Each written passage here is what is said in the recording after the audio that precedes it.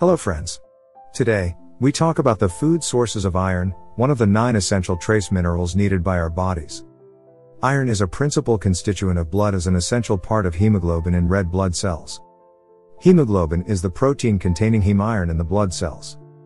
About two thirds of our body's iron is in hemoglobin. Iron exists in hemoglobin as a heme iron complex, which gives the blood red color. Heme iron is a five member nitrogen containing ring molecule with a central ferrous iron ion cage.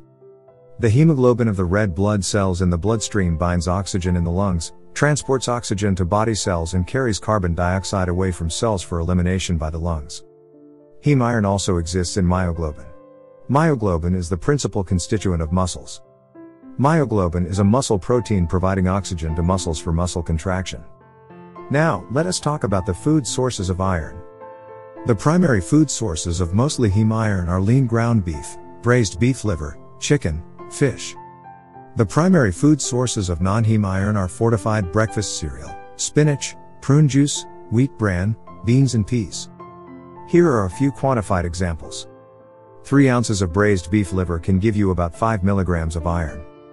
And the same amount of extra lean ground beef can give you approximately 2 milligrams of iron. 3 ounces of chicken meat can give you about 1 milligram of iron.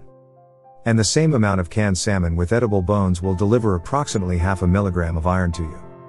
The sound sources of non-heme iron are fortified cereals, spinach, prune juice, beans and peas. For example, depending on the brand, 1 cup of fortified breakfast cereal can give you 5 to 18 milligrams of non-heme iron. A half cup of cooked spinach can give you 3 milligrams of iron. One large egg gives you 1 milligram of non-heme iron.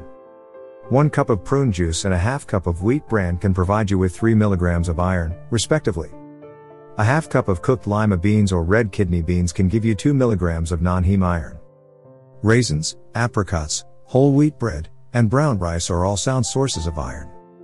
How much iron do we need?